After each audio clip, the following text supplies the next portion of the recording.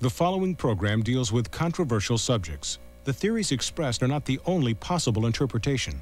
The viewer is invited to make a judgment based on all available information. Tonight, on sightings, many thought the mystery of the English crop circles was a hoax, but our ongoing investigation has uncovered startling evidence that may prove extraterrestrial contact. This intelligence is almost certainly not human. Then, what sinister spell has cursed the British royalty for 600 years? We uncover the royal curse tonight.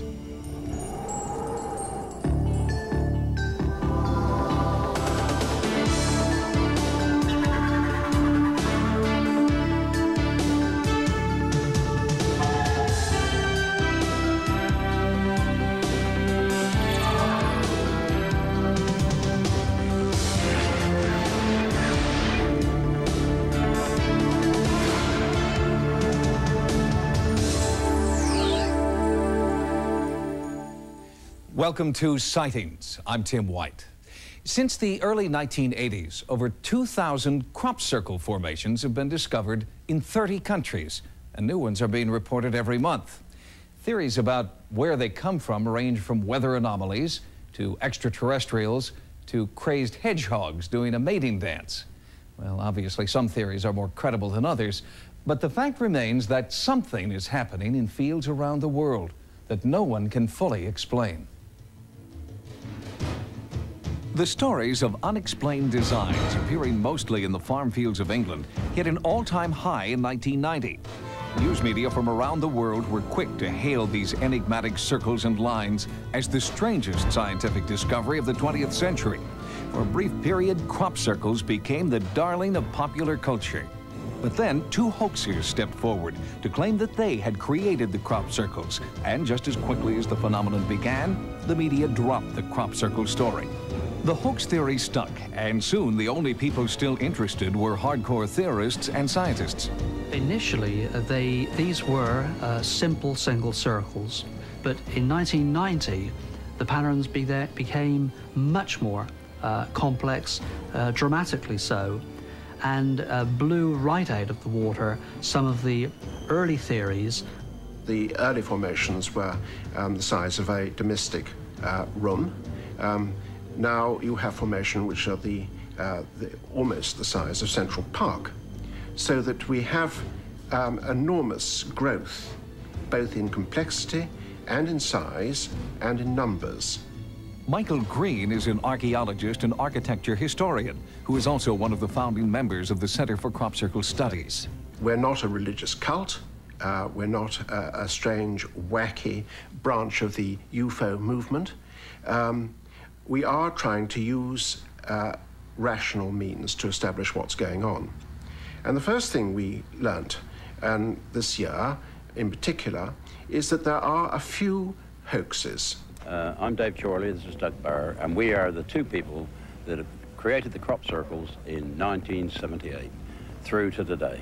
The most impressive thing to me, and the reason why I actually stopped and listened to what they had to say, was not really what they told me, but what they did in the field. Because when they did the demonstration out uh, in Sussex at Chilgrove, um, the formation itself was um, quite messy, but it was amazing how quickly it happened. In 45, 40, 45 minutes, this huge formation was laid down, and that's even accounting for the fact that half the world's press were tramping around it as well with them, asking them for interviews at the same time.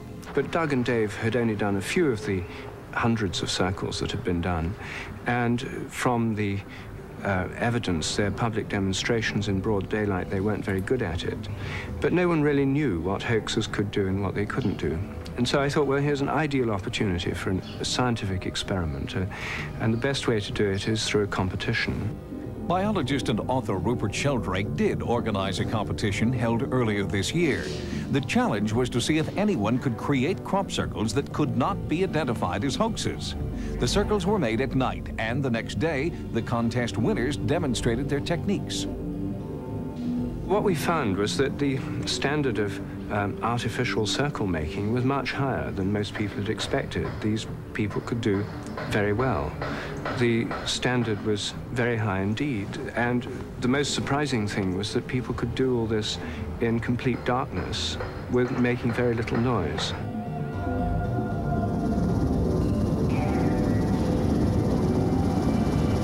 I flew the site the next day, and the aerial pictures that we took show some of the centres of these formations displaying exactly the characteristics that the genuine circles have displayed, and exactly the characteristics that many of the experts have said couldn't be done by people. Things like making rings without having a hole in the center where somebody stands. Things like producing a, a radial effect where the crop splays out from a central point. And the team that won and the team that came second and third produced really marvelous formations which the judges were very impressed by. So what they show is that many of the features of crop circles could be hoaxes, but they don't show that they are hoaxes. And I mean, the, the analogy that um, I find most helpful is the fact the fact you can forge a $20 bill doesn't prove that all $20 bills are forgeries.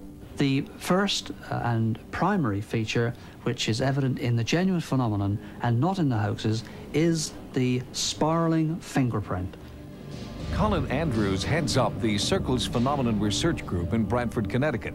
He has co-authored two books on crop circles and is believed to have visited more actual crop circle sites than any other researcher.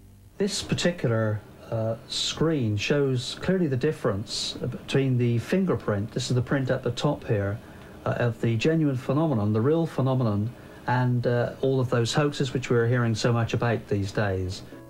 Andrews believes that the most important patterns to be studied are those where the flow of the crops changes direction within a single circle, a pattern no human has yet been able to duplicate in public. I think the single most convincing argument uh, for a real phenomenon and against the hoax uh, are the effects that the phenomenon are, are having upon the plants themselves. Dr. Levengood, uh, a well-known physicist in the United States, has discovered uh, changes in, in the, uh, uh, the structure of the plants themselves, in cell structure of the plants, molecular st structure of the plants on a number of continents. When a formation hits, it just knocks the heck out of the embryo. They don't grow. They, they, the seeds don't develop. Dr. Levengood has discovered that the cell structure of the crops within a formation are distinctly different from undisturbed crops nearby, and that this new cell structure seriously alters the crop's growth. Let me get this straight. A plant that is in a formation undergoes an internal change so that seeds taken from that plant grow a different kind of plant or an altered plant? Altered in the, both the growth rate and the germination. In some cases, it increases quite significantly. Some people maintain that hoaxers created not only some, but all of these formations. You buy that? Oh, God, no. No, this is, this is utterly ridiculous. No. If they had that kind of energy, they wouldn't be wasting it out in the field making impressions in a crop. It'd be a new kind of energy distribution, let's say, that I have never heard of. Mathematician Gerald Hawkins is another scientist with an intriguing theory. Professor Hawkins made his mark in the 1950s when he came up with an explanation for Stonehenge still accepted today. Now, Hawkins has devised a mathematical formula relating the crop circles to the notes of a musical scale. Help us understand that. Uh, you're not suggesting that because there's a relationship between the ratios of the crop circles and the ratios of musical tones that you can somehow play the crop circles. I'm not saying that the crop circles are musical. I'm saying that they follow the same mathematical law as the major diatonic scale. No natural physical process that we know will generate the diatonic scale, which is, of course, the white notes on the piano. Therefore, the only theory that we can put forward is that it's done by human beings, it's all a hoax. But they're clever hoaxes, and if it's not a hoax, then we have a major scientific problem on our hands.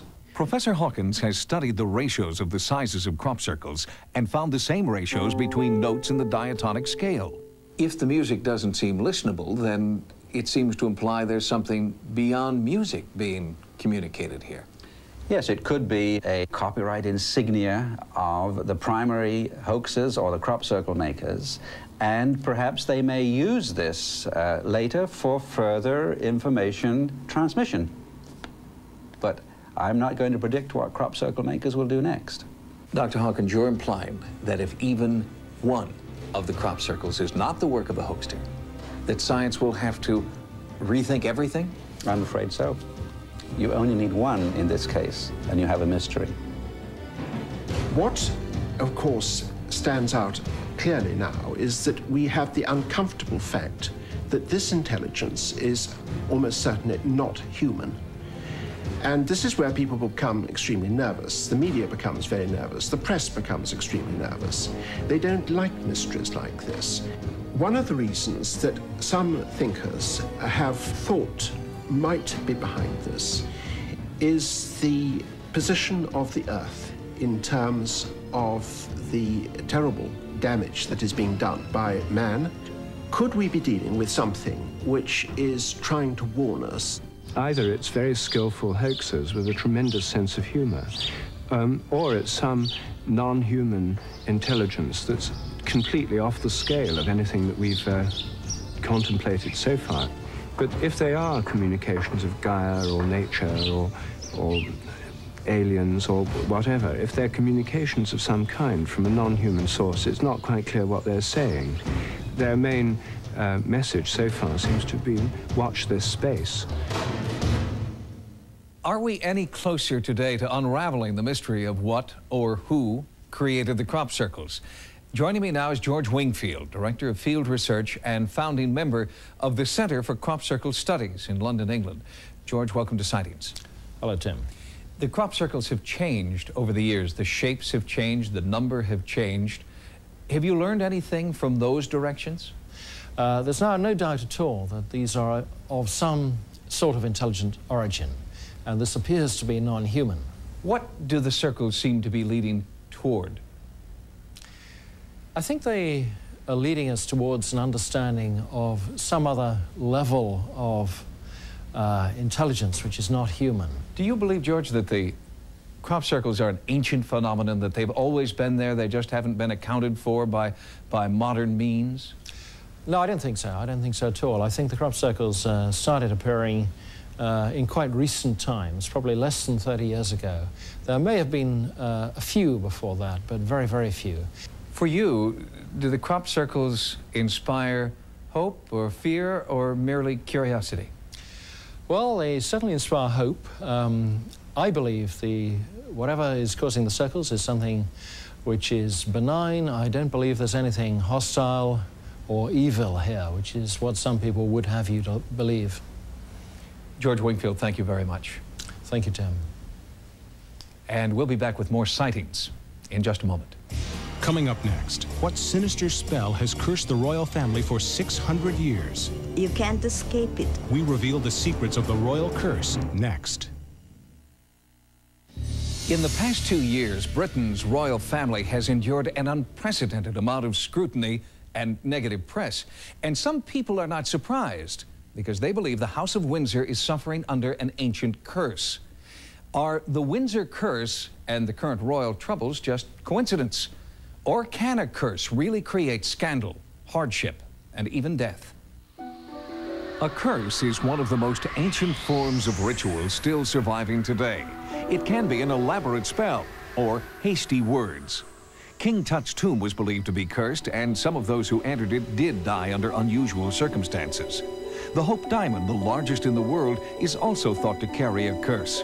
But can people really be harmed by something that many believe is merely superstition? A curse is uh, magic, black magic, that is a negative wish that is can be made by word of mouth, by saying something that would harm somebody. Anybody can be uh, victimized. Anybody is uh, vulnerable. Throughout this century, Britain's royal family has been the object of scandal and tragedy. From the abdication of Edward VIII to the bloody terrorist attack that killed Prince Charles' favorite uncle. Recent revelations about Princess Diana's unhappy marriage and Fergie's impending divorce from Prince Andrew are just the latest misfortunes that some believe are caused by a little-known royal curse. If such a curse exists, could it explain why, for the first time, the role of the whole British monarchy is being questioned, and some are even calling for its end? In 1986, speculation arose that the personal and public misfortunes of the House of Windsor were due to a centuries-old curse. It was believed to have first taken its toll on the Queen Mother's family in the early 19th century at their ancestral home in Scotland. Rumors about the curse surfaced after it was revealed that two nieces of the Queen Mother, thought to be dead, had actually been hidden away in a mental hospital for over 40 years. The nieces, Nerissa and Catherine Bowes-Lyon, are also first cousins to Queen Elizabeth, who is a direct descendant of the Bowes-Lyon family. The fact is that the Queen has an enormous number of cousins, and if you looked through the list of them all, you would find all sorts of, um, you know, unfortunate characters. So too, there were two nieces of the Queen Mother who um, it was understood and indeed published that they had died many years ago. And what happened was that they were born mentally deficient. What actually happened in 1986 um, was that both these women were alive and well at this stage. Um, it is not known whether or not the Queen Mother um, knew about their existence. Uh, it was a scandal at the time because it left a tarnished image on the woman that was otherwise the known as the, um, the nation's favourite granny. The origin of the royal curse is believed to date back to the 17th century and Glamis Castle in northeastern Scotland. Glamis is the ancestral home of the Bowes-Lyon family. Here in the 1600s, the Lord of Glamis Castle made an error in judgment that many believe the current royal family is still paying for. One of these stories is um, a result of the feud that existed between the Ogilvy and the Lindsay family. Uh, and, and, the story says that uh, a group of Ogilvies were fleeing from the Lindsays and came to Glamis and asked for uh, shelter. And the story says that what he did was to give them shelter in a small room in the thickness of the wall, but then he closed them in and eventually that room was uh, walled up. And of course, they died a, a terrible death. The Ogilvies were entombed in Glamis Castle for over 100 years. When their chamber was finally opened in the 1700s, a grisly discovery was made. They had been so desperately hungry before they died that they'd even got to the stage of eating their own limbs. At least one of the skeletons had his teeth uh, around his forearm. Some believe that when the wall came down, a curse was let loose upon the residents of the castle, a curse conjured up by the murdered members of the Ogilvy clan. The first manifestation of the curse is thought to have occurred in 1821, with the birth of the then Earl's firstborn son, Thomas Bowes-Lyon, the great-great-great-uncle of Queen Elizabeth. He was a, um, if you like, a hybrid between Quasimodo and Phantom of the Opera. His entire body was covered with hair, almost like an ape. He had uh, no arm, well, very small arms and very small legs. And uh, when his father, the 11th Earl, saw uh, his son and heir, he was so horrified that uh, he banished him from his sight. And the story even goes that he lived to be 100 years old, which would mean that he was still alive in 1921. There is a sort of infamous story about the Glamis monster, um, but frankly, I don't know anything about it. I mean, as far as, as we are concerned here at Glamis, it simply never happened. The curse of Glamis Castle has never been openly discussed by the royal family. Any discussion about the curse is vigorously denied by anyone employed by the family. Family take very strong uh, exceptions to that particular story. Um, and again, as far as they're concerned, it's a load of rubbish. It is interesting that uh, it's the way to get a very, very frosty royal look is if you mention this monster and any story about it in the presence of the Queen Mother or any of her immediate family. They've never actually commented on the story on the record.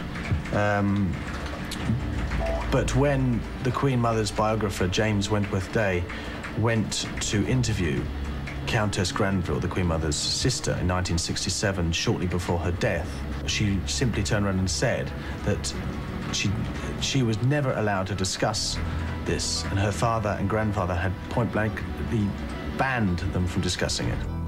If a society is strongly believing that curse can affect you, then it must, by its very nature, affect.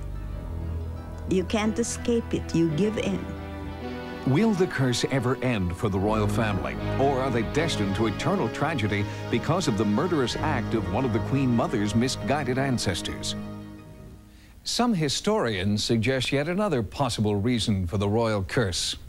At Glamis Castle in 1537, Lady Glamis, the beautiful widow of the sixth Earl, was accused of being a witch. She was burned alive, and ever since her death, strange, supernatural phenomena have plagued the castle. Coming up next, does the cousin of the Loch Ness Monster lurk in the depths of Lake Champlain? swings his entire body around and lifts his neck and head out of the water entirely. On a recent special edition of Sightings, we reported on Operation Deep Scan, the latest scientific search for proof of the existence of the Loch Ness Monster. Now, an update on the findings of Operation Deep Scan and information about a lake monster sighted right here in the United States.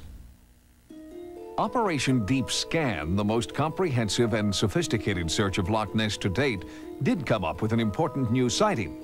Using sonar, an unexplained creature of large proportions was tracked through the murky lake for more than two miles. Sightings of a similar nature have also occurred in Lake Champlain, along the New York-Vermont border. Recently, increased attention has been focused on the lake after three separate eyewitnesses captured video of what they believe is Champ, the Loch Ness Monster's American cousin. It was huge black was just monster. It was scary. It was it was that big. Up came the neck and the head, literally like my hand is doing. It turned and it looked at me and it turned and it went right back down into the water. He swings his neck around and lifts his tail up, his, swings his entire body around and lifts his neck and head out of the water entirely. Does a loop and, you know, a whole big arch like this in the water and dives back in.